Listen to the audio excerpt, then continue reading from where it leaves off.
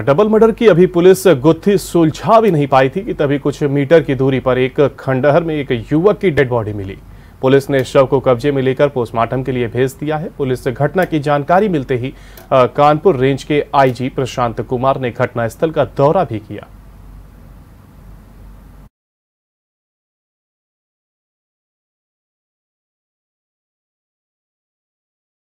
देखिए ये जो प्रॉपर्टी है जी। ये इनके परिवार में कोई नहीं रहते। जी। क्या प्रॉपर्टी है क्या नहीं है क्या स्कूल है असल में ये स्कूल में ही ऊपर इनका मकान है। तो जब तक इनके वारिसान न अनुमति दे दें हम कैसे उसमें आपको बोलें सर उनके भतीजे वगैरह हैं उनके परिवार के लोग नीचे खड़े रहे तो उसके बाद उन्हें भी नहीं अंदर ले जो भी जो भी वारिसान होंगे वो- वो जाके अपना देखें।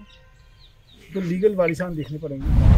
अगर आपको हमारा वीडियो पसंद आया हो तो हमें लाइक करें सब्सक्राइब करें और ज़्यादा से ज़्यादा शेयर करें। और हाँ बेल आइकॉन दबाना ना भूलें, ताकि हर खबर का अपडेट आप तक पहुँचे तुरंत। आप हमें इंस्टा ट्विटर और फेसबुक पर भी फॉलो कर सकते हैं। हमारी आईडी है at the rate J M D news